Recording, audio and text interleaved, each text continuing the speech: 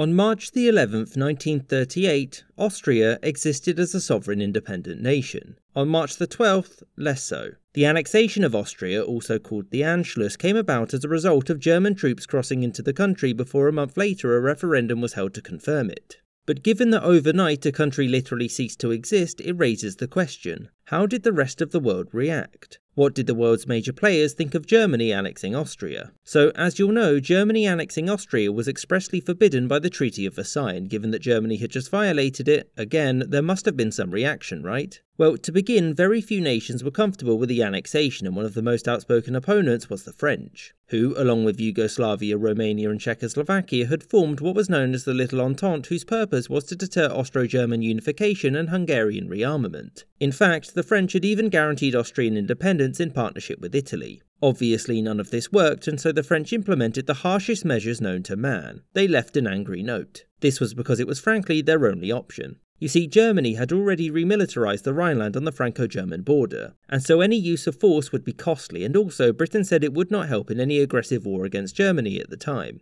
Speaking of Britain, their response was one of too late to do anything about it now. And whilst they also left an angry note, the Prime Minister Neville Chamberlain saw it as fait accompli and soon recognised the annexation. He knew that the only way to stop the annexation from becoming established was war, which they didn't see as worth it. And also, Britain had hoped that by allowing for German rearmament and also some territorial concessions, Germany would become a constructive international partner, but fun fact, no.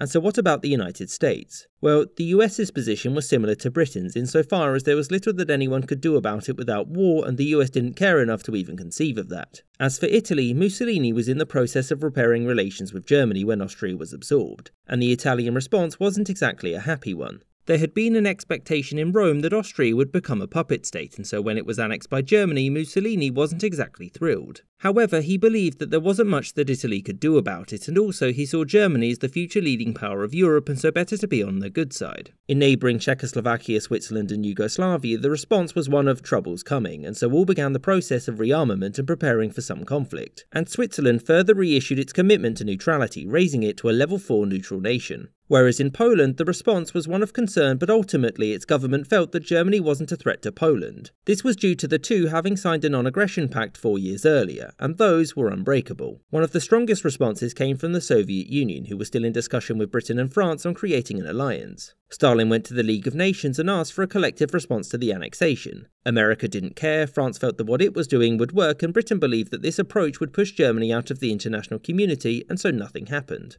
I say that the USSR didn't have the strongest response because of Mexico. Mexico lodged a formal complaint within the League of Nations, the only nation to do so, and decried the annexation as an affront to international law. Now, Mexico itself was in a pretty bad state at the time and was a literal ocean away from Germany, and so everyone ignored them. Many nations had opposed the annexation of Austria, but the reality was that there was nothing any of them could do to stop it without war, and none of the major nations felt that that would be worth it.